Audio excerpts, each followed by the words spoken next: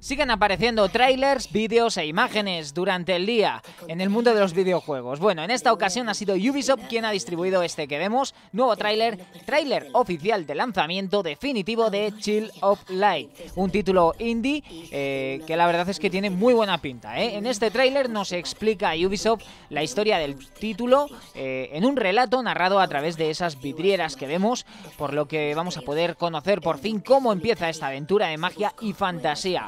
También nos han enseñado una gran cantidad de secuencias sacadas directamente, como no, de la parte jugable del título, que es lo que queremos ver siempre en este tipo de trailers, para que podamos ir viendo cómo es explorar el mundo de Lemuria y cómo es combatir eh, contra esas criaturas eh, que habitan dicho mundo. Chill of Light ha sido calificado como un homenaje de Ubisoft Montreal al género del rol y se trata de una aventura que hace uso del motor UbiArt Framework, utilizado entre otros, por los últimos eh, títulos de Rayman. O sea que fijaos eh, cómo puede lucirse este título. Bueno, ya lo estamos viendo.